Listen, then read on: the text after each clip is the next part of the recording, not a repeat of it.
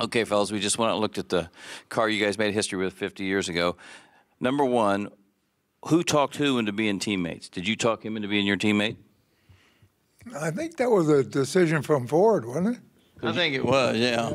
Because I just won, I think, Indy and that, and, you know, I was supposed to go over in 66, and I got burnt, remember, at Milwaukee, and Ford that weekend lost about four or five of their drivers, so then they asked me in 67, so I think Ford was the one paired us up. But you hate foreign food. You're what did you eat over there? Well, I damn sure didn't gain no weight. Okay, what about the test program? That was did you guys get to test for a week, 2 days, 30 minutes? Uh, 15.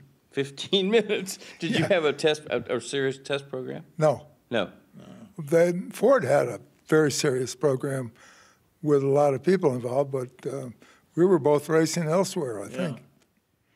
Well, but you, the thing that's interesting is uh, people always talk to you and primarily, oh, it's too bad you guys never got to win Formula One. But you had a chance. You always told me, I don't want to go over there and race. Well, that's exactly right, and uh, I just didn't care about it. So what made you want to do this? Well, uh, I was a rookie and just won Indy and all that stuff, and uh, I knew with Carroll Shelby, he's from Texas, that he puts a good team together, and Dan Gurney, I knew he was a great race driver and all that on road courses, and I figured, hell, I'll go over as a rookie and see what happens, and fortunate enough, we come out winning. Did he listen to you? Did, was he tough to coach? Absolutely, absolutely. I mean, he couldn't have done a better job. Dan, when you think about Phil Remington and oh, I mean, I wasn't telling him how to drive or anything. I, I talked some stories from the past and everything, but AJ had the talent to do it whether I was there or not. And uh, he was a genuine winner. And that's what his fans have felt all along. And uh, every once in a while, he, uh, he's good at coming up with excuses also. No, Super text? No, you've never made an excuse. All right, so you're going down the, you're practicing at Le Mans for the first time at at night, and you're going 240 miles an hour down a straightaway on a track you don't know much about. You did it was it dawning? Were you a little bit? Did you think, man, man, I can handle this or not, or did you take to it right away? Well, the only thing I followed, uh, what did I tell you? What was his name when I went out at night? Oh, I named his name earlier. Uh, Denny Hulme? Yeah, Denny Hulme. I knew he had a lot of experience there, and I followed him about 10 laps, and then he kind of showed me the way, and then I went on after that. But uh, only thing I didn't like over on Wall St. Straight, they didn't have no guardrail, nothing, but they painted damn trees about seven foot. And when you was going through there over 200 mile an hour, you kept seeing all them trees whitewash, so you knew if you went into them, you was in deep trouble. And uh, that's the only thing that bothered me at nighttime more than anything. Yeah, tree, trees at 200 miles an hour could be an obstacle. All right, so when you get in the car and you got to go get Phil Remington to help you because you're big, he's big, and we just went and looked at the cockpit, and it's still tiny. Did, driver comfort was basically what? Putting a bubble in the top and a, and a little pad behind you? I I uh, I thought the car was very comfortable once we had the bubble. um, so uh, compare, I'd I'd been a, in a lot more cramped cars. AJ talk about driving a midget. I imagine that was pretty cramped, wasn't it? Yeah. Real cramped. Yeah. Well, here's the other thing. So the race starts. You guys in 24 hours led all but 90 minutes. So were you? Did you think after qualifying and after practice you were the guys to beat? Did you think we have the car to beat? Well, Gurney put it on the pole, so that ought to tell you we're going to start first. We might not stay there, but we're going to be there the first lap. But I mean, did you did you kind of think, okay, this is this is definitely my best chance to ever win this race because this car is so good? The uh, long answer is yes. it's a no. I mean, of course, if you're realistic, you don't know that until the end, right? Right. And uh, we're both pretty realistic. Yeah. Okay, now the man that you said makes excuses said one time it was his turn to to take a rest and he couldn't find you because you were somewhere, and so he had to drive two or three stints in a row in the rain. Is that a fact? Is that an AJ Foyt fact? I take the fifth. Robin is trying to, you're trying to stir it up. I, am not. I think I think it's I think it's great that Yeah. that you pulled one over on him. No, no, no. I mean, uh, that we had an incident there. That's right, and it was uh, AJ had to drive two stints, and uh, uh, but you know, uh, outside of uh, a few uh, words you can't repeat, why it was fine.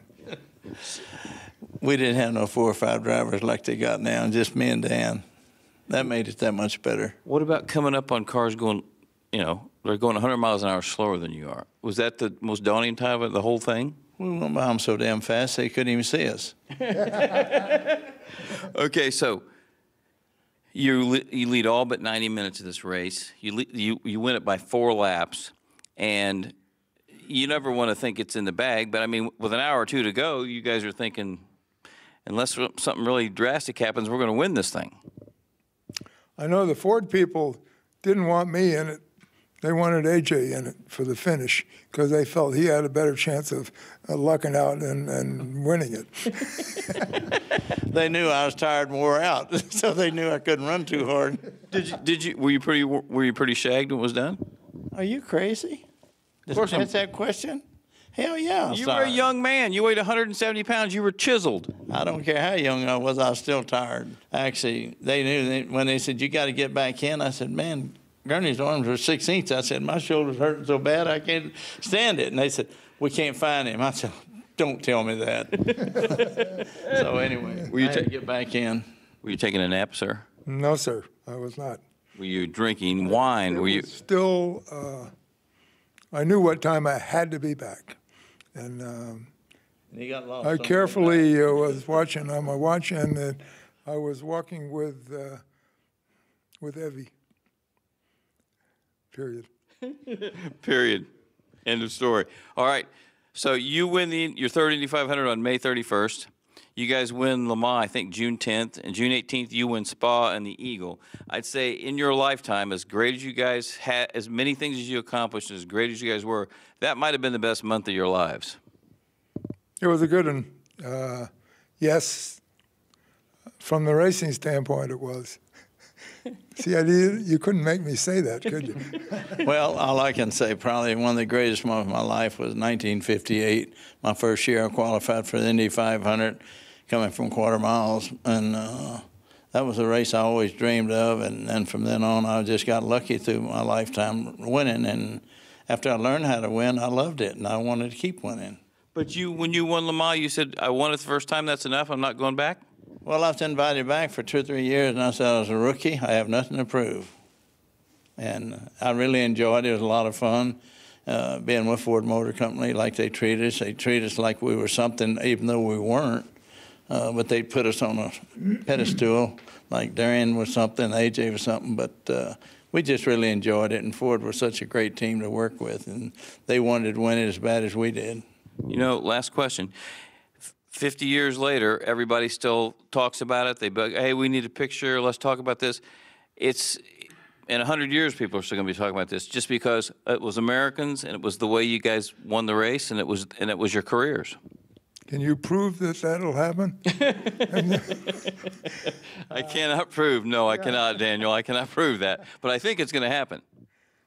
I wouldn't be a bit surprised. I know uh, if people were half as proud as we were, why, it'll happen. All right. To the great legends of all time, they lie sometimes. Most of the time, they tell the truth. Not to me, though. This is. Oh, wait. Yes, sir. Well, I, I didn't know you were going to quit already, but uh, one of the things I should say about AJ is uh, not only was he a terrific race driver, who you could tell he enjoyed doing it and was uh, explored different ways of pulling it off and everything, but he was also a doggone good engineer, and uh, he never stressed that. But uh, uh, if there were new things, trends to work, uh, he was probably uh, involved. Now, whether he, well, I just remember that. And uh, if you thought you were going to out engineer him, you probably had another thought coming. You really didn't have a soft spot in your heart for English engineers back in the 80s and 90s, so it was probably pretty good you were an engineer. What are you saying? Only thing I knew I wanted to win, regardless of how I had to do it. And you're saying that a race car is a race car and you figured it out.